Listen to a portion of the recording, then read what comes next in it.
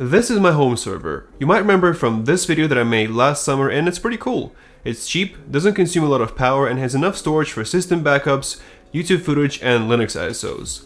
Unfortunately, after around a year of use, one of the backplane connections on the case failed, which prompted me to look for a new case. I had some part left over from my previous builds and it kind of spiraled out of control from there. So this is my new home server. It has 18 terabytes of hard drive storage, a 1 terabyte SSD for fast backups, and 8 SATA ports in total. It also has a 10 gigabit SFP Plus LAN connection, Raspberry Pi based KVM for remote access, and all of this is installed, provisioned, deployed, and managed automatically using Ansible and Cloud Init. This might be one of the most overkill computer builds that I've done in my life, and if two of my previous home server videos focused on practical setups that don't break the bank, this build went a little bit off the rails. As I mentioned, I used some parts that were left over from my previous build, so I wasn't really concerned about the price of those parts, but I will definitely mention sensible alternatives later on in that video. That being said, if you need a file server for torrenting, media streaming and backups, you probably don't need something like that, and my previous server build will be just fine for you. Oh, and one more thing before we get started.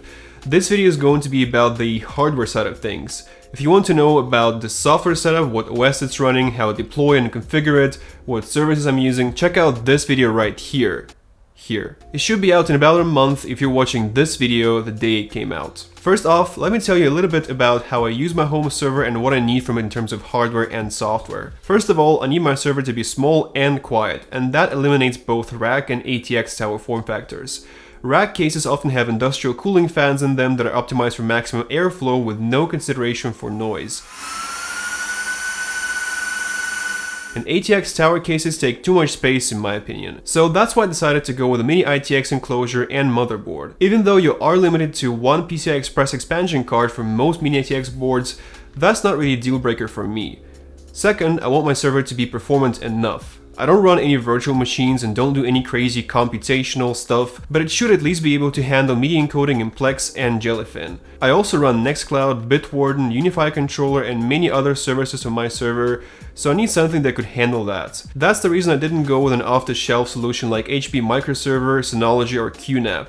They're great products with their own use cases, but I needed something beefier. Third, despite going with a small form factor, I want to have enough SATA ports.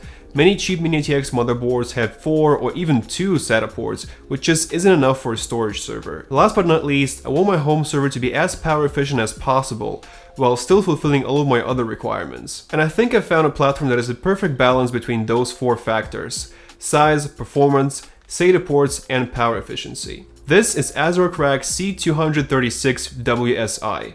It's an Intel Skylake Mini-ITX workstation motherboard that has 8 SATA ports and supports DDR4 ECC memory. It's an old motherboard and it's still pretty expensive even today. I bought it for 185 euros used, which is about 210 bucks, and that's a lot of money for a used Skylake motherboard. But it's pretty much the only Mini-ITX motherboard in this price range that has that many SATA ports. I paired the motherboard with an Intel Core i3-6100 and even though it's a pretty old CPU, the performance is still more than enough for home server tasks. And yes, the i3 Skylake CPUs do support ECC memory just fine and you don't need a Xeon CPU for that. As an added bonus, i3-6100 also supports QuickSync for hardware video decoding. Now the fans of AMD might want to ask me why I went with a crappy Intel CPU instead of a glorious AMD Ryzen. And the reason is pretty simple.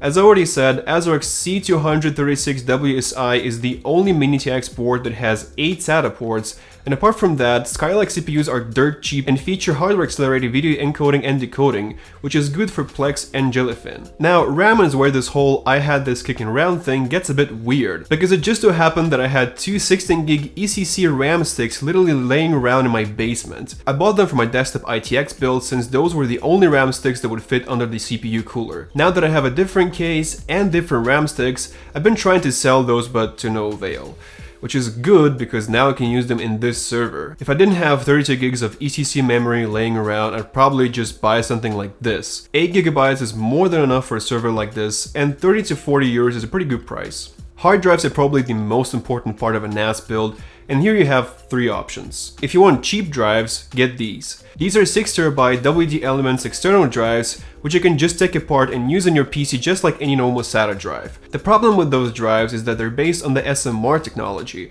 which makes them slower and probably less reliable in the long run. You should definitely stay away from SMR drives if you plan on using ZFS because the resilver times are incredibly slow with those. That being said, they're pretty good for casual use and go for as little as 90 euros on Amazon warehouse. I'm cheap so that's what I went with.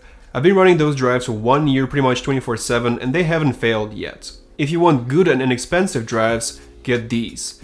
These are the same WD Element drives but 8 terabytes instead of 6.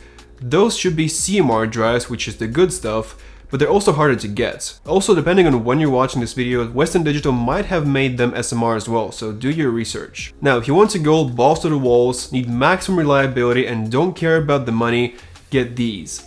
These are WD Red Plus, flagship prosumer drives that are made for the use in storage servers. They also cost almost twice as much as the WD Element CMR drives, but for that price you get the NASWare firmware and the 3-year limited warranty, so there's that. Now if you're going to be using MergerFS and SnapRAID like me, you don't have to go for the same size drives and buy all the drives at once. You can start with just one or two drives and then gradually buy more and more drives as time goes on.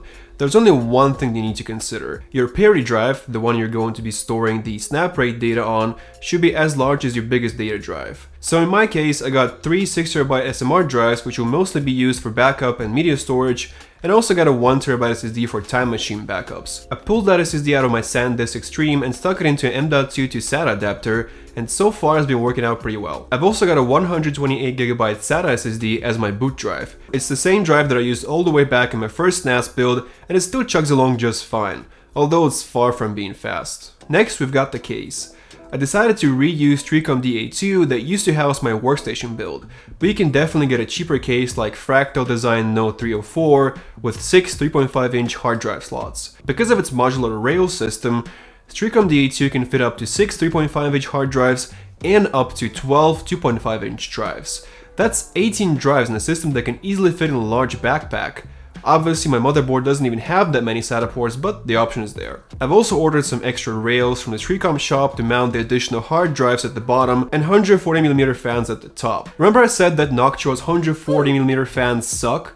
Well, apparently they suck so much that nobody wants to buy them which is once again good because now I can use them to cool my home server. I'm also going to be using Noctua's smallest CPU cooler, L9i. This case can fit coolers that are way beefier than that, but I need the space for hard drives, and the L9i is way enough to cool the i3-6100 installed in there. In my previous NAS, I used a power supply called PicoPSU. It's a passively cooled, super small 150 watt power supply, which would absolutely not cut it in my new build. So instead I went with Corsair SF450, which is a small form factor 450 watt power supply with a platinum efficiency rating. It's also modular which makes cable management a little bit easier, and there's going to be a lot of cables to manage. For the network card, I got this. You might wonder why I need another network adapter if I already have two LAN ports on the motherboard itself. Well, that's because it's not just a regular network adapter. This is Mellanox Connect X3, a 10 gigabit SFP Plus card. This will let me have a 10 gigabit link to my home server and take advantage of that 1TB SSD I have installed on it. I'm planning to make a separate video on my 10 gigabit home network by the way, so make sure to subscribe if you don't want to miss it. One thing that I really wish my old server had is some kind of remote management system. Sure, SSH is fine for most things, but it only works if you can boot into your OS in the first place. I bet when I land they gon' tell me it's luck again. See that I'm winning, it's harder to watch. I'm setting the stage, you should give me my... If your operating system doesn't boot or if you need to change the BIOS settings, you need to take the server out of the shelf, put it on your desk, connect it to the monitor and the keyboard, and then bring it all the way back, which is really annoying. A lot of server motherboards have a separate LAN port for remote control. It gives you access to a web UI where you can change the BIOS settings, change the boot order, or reinstall the OS without connecting the computer to a monitor and a keyboard. But this motherboard is a workstation motherboard, so it doesn't have remote management ports. Plus, even if I did find a Mini ATX server motherboard with 8 SATA ports and a remote management port, it would probably cost 3 times as much. So instead I used this. This is a Raspberry Pi with the USB Type-C splitter and an HDMI capture card running PiKVM. The capture card connects to the HDMI port on the board, and the USB Type-C splitter is connected to USB port on the server. PiKVM gives you a nice web interface where you can see the display output and the keyboard, and even upload ISOs and boot from them, since Raspberry Pi can also pretend to be a mass storage device. As you'll see in the next video, I also use it to automatically mount the Ubuntu server ISO, so the only thing I actually need to do is reboot the machine and boot from USB. This thing saves lives. It can add remote management to any motherboard and it's also very cheap compared to a server motherboard with built-in IPMI. The whole setup looks pretty clunky, but you can just hide it somewhere in the case and forget about it if you have the space. There is also a Kickstarter for PiKVM Hat, which is an all-in-one solution that doesn't need a USB Type-C splitter or an HDMI capture card, so make sure to check that out. So since I've done my fair share of ITX builds for the past three years, building in this thing wasn't too difficult.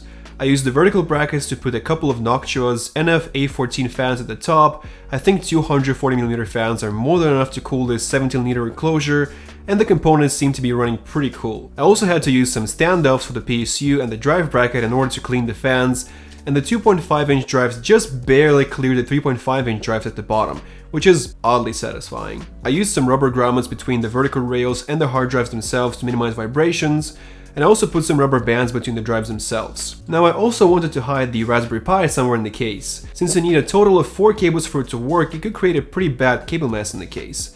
So I decided to separate the server part and the PiKVM part using the stock dust filter. I think it worked out pretty good, but I can tell that accessing the Pi in case I want to use it for something else would be a real pain in the butt. I might find another way later. Overall, I'm really happy with this build. It's a tight little box, but there's still enough place for 3 more hard drives and 10 more SSDs in here, if I ever need more storage. It also looks pretty cool. Now we're coming to the cost, and well, all I can say is when it comes to the wife approval rating, this thing doesn't score very high. My first build was focused on cutting costs and getting a viable home server setup for cheap.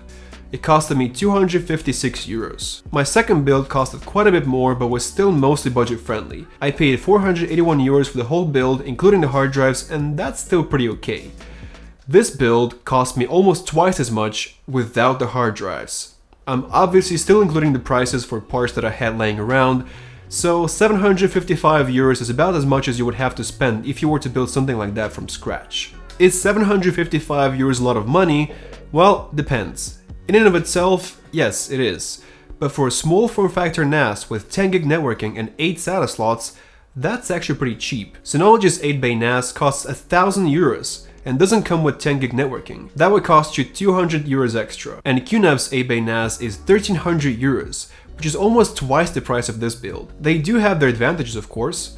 You don't have to set anything up, stuff just works out of the box with no need for manual configuration, at least in theory. The drive bays are also much easier to access than on my build, and if a drive fails, the NAS will tell you which bay it's in, which is pretty neat. There are also a lot of refurbished enterprise solutions that can be cheaper, HP microservers, Dell PowerEdges, and so on and so forth. If those solutions work better for you, that's great. Just because I built something else doesn't mean your opinion is somehow worse. Unfortunately, I can't go over each and every one of the potential alternatives and tell you exactly why my solution works better for me. But rest assured, I did go through pretty much all of the popular options and ended up building my own NAS instead. It might be not the most cost effective, or the most performance, or even the most future-proof home NAS, but I think it's perfect for me. It's small, quiet, powerful enough for media server and NAS use, has 10 gig networking and plenty of room left for additional hard drives and SSDs. And I seriously hope that this is going to be the last NAS that I will ever have to build. So that's going to be it for this video and as per usual I would like to thank my patrons. Tim, Mitchell Valentino and everyone else supports this channel. Thank you guys for watching and I'll see you in the next one. Goodbye.